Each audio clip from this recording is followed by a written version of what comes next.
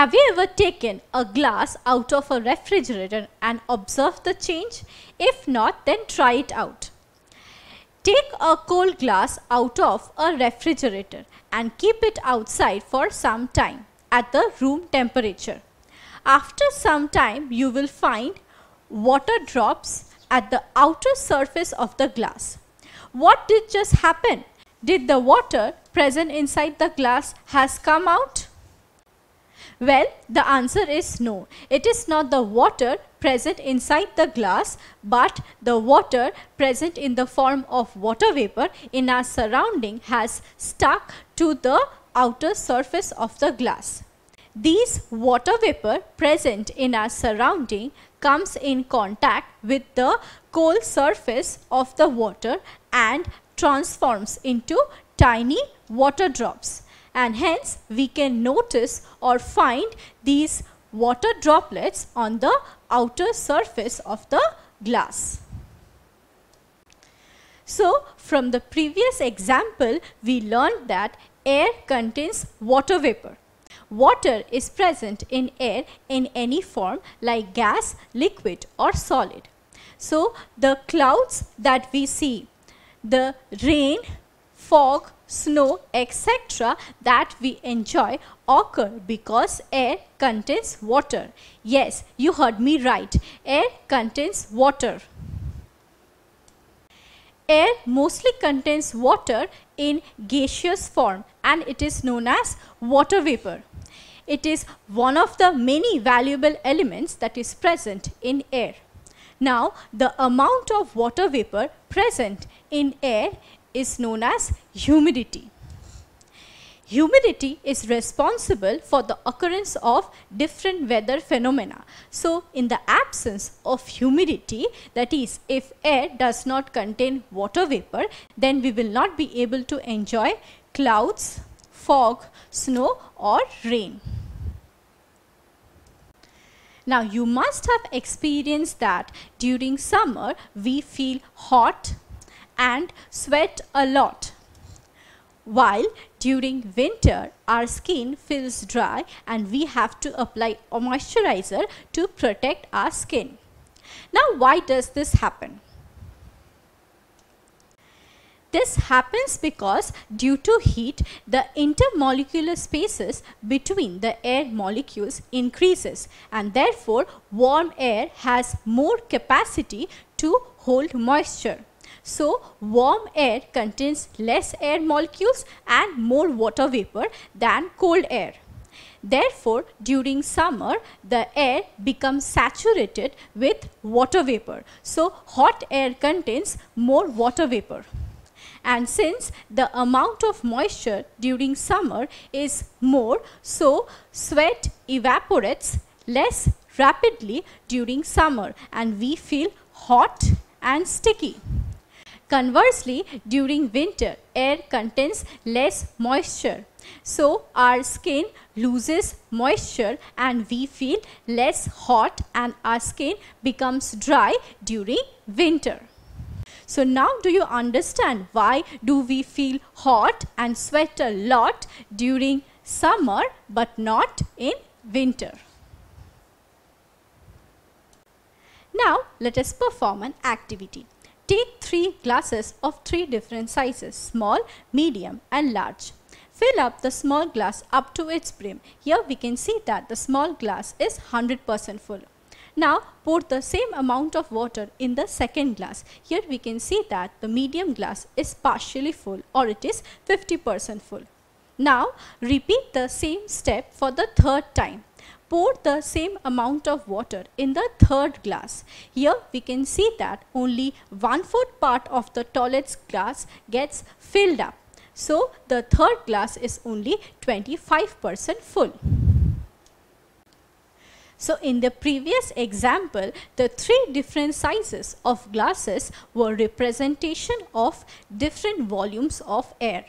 Now just like the glass contains water, air also contains water vapor. See, this is a column of air and we can see that water vapor is present in air. Now the total amount or the actual amount of water vapor present in a given volume of air is known as absolute humidity. Absolute humidity measures the actual or exact amount of water vapor present in a given volume of air.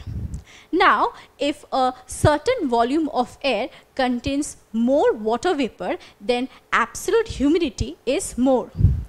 See, look at these two pictures. Here, we can see that a fixed volume of air, see the air column is fixed. So the volume of air in both these cases is same. But here we can see that more water vapor is present in this case whereas less water vapor is present in this case. So absolute humidity is more in this case while absolute humidity is less in this case. Now absolute humidity is independent of air temperature. This is because absolute humidity measures the water vapor present in a given or a fixed volume of air and therefore absolute humidity does not depend on air temperature. Now we can express absolute humidity in gram per meter cube. Now if we say absolute humidity is 10 gram per meter cube. What does it mean? It means that 10 gram of water vapor is present in 1 cubic meter of air. So, absolute humidity measures the amount of water vapor present in per cubic meter of air.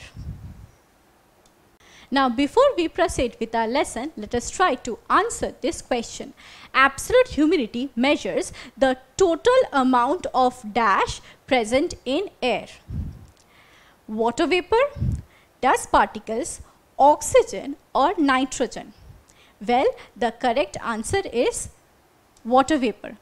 Absolute humidity measures the total amount of water vapor present in air.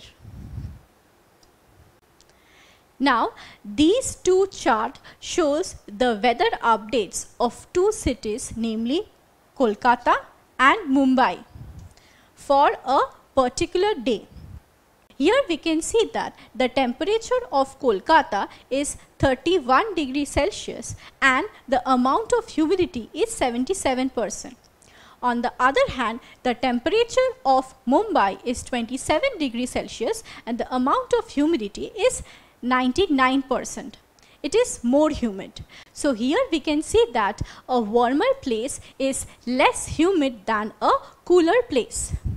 Well, if you remember, I just mentioned that absolute humidity is independent of air temperature. But here we can see that humidity is inversely related to air temperature. So this is not definitely absolute humidity. This is another measure of humidity. Also, absolute humidity as I just mentioned is measured in gram per meter cube. But here we can see that humidity is expressed in percentage. So this is a different kind of humidity that is used in the purpose of weather forecasting and this is not absolute humidity. So let us learn about this type of humidity. Now let us go back to an example of three glasses. Here as I just mentioned the three glasses are representation of different volumes of air at different temperature. Now compare this case with this picture. Here we can see that the amount of water vapor present in all the three cases is the same. See this blue circle is constant for the three cases. But here we can see that as temperature increases, the capacity of air to hold moisture that is this entire circle increases. So, at higher temperature, air has more capacity to hold moisture, but it is holding less amount of water vapor than its maximum capacity in these two cases. So, in the first case, the air is 100% full, but in these two cases, the air is not completely full. Here, only 50% of air contains moisture and here at 30 degrees Celsius only 25% of air contains moisture. So here we can compare the actual amount of water vapor present in air with the maximum capacity of air. Now the concept that compares the actual amount of water vapor present in air with its maximum capacity is known as relative humidity. So relative humidity tells us the actual amount of water vapor present in air compared to how much it can hold. That is the maximum capacity of air at a particular temperature. Now again look at this picture. Here at 10 degrees Celsius, the relative humidity is 100% because the amount of water vapor present in air exactly equates to the maximum capacity of air. Now here relative humidity is 50% because the actual amount of water vapor present in air is less than its maximum capacity. Again here at 30 degrees Celsius relative humidity is only 25 percent because the actual amount of water vapor present in air is quite less compared to the maximum capacity of air. Now relative humidity is also the ratio between the actual amount of water vapor present in air and maximum water holding capacity of air at a given temperature. So, this is how you can express relative humidity. Now, relative humidity is expressed in percentage. See here we have expressed relative humidity in percentage 100%, 50%, 25%. Now also in this picture we can see that as temperature increases relative humidity falls. See here at 10 degrees Celsius relative humidity is 100%, at 20 degrees Celsius relative humidity is 50% and at 30 degrees Celsius relative humidity is only 25%. So here we can see that relative humidity is inversely proportional to air temperature. Let us establish this fact with the help of a numerical example. Here we have considered two cases. In the first case, the air temperature is 15 degrees Celsius and the maximum capacity of air to hold moisture is 25 gram per meter cube. Now the actual amount of water vapor or the moisture content of the air is 20 gram per meter cube. Now in the second case when the air temperature rises to 30 degree Celsius the maximum capacity or the moisture holding capacity of air also increases and the capacity is 50 gram per meter cube. But the moisture content of the air that is the actual amount of water vapor present in air remains the same that is 20 gram per meter cube. So now let us find out the relative humidity of air in these two cases. Now this is the formula that we use for finding the relative humidity of air. Let us calculate the relative humidity of air for case 1. It is equal to the actual amount of water vapor present in air which is 20 gram compared to the actual capacity of air which is 25 multiplied by 100. Now this is 4 which is equal to 80 percent. Now we will do the same for the second case.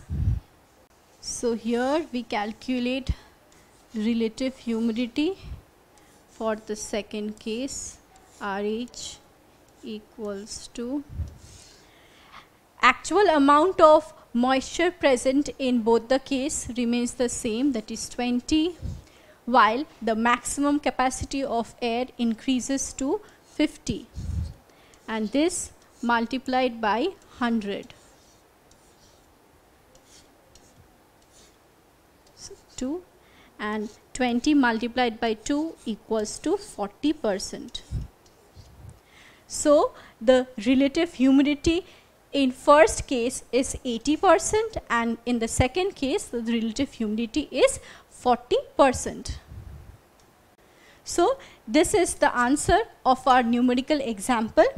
At 15 degrees Celsius, we find that the relative humidity is 80 percent, while at 30 degrees Celsius, we find the relative humidity is 40 percent. So here we see that as temperature increases, relative humidity falls. So, with the help of numerical example, we find that relative humidity is inversely proportional or inversely related to the temperature of air. So, now do you understand why Kolkata being a warmer place has less relative humidity than Mumbai which is a cooler place. Now the type of humidity that is used in weather forecasting is relative humidity. Relative humidity indicates the likelihood of precipitation or likelihood of rainfall. If relative humidity is more then the likelihood of precipitation or the chances of rainfall is more.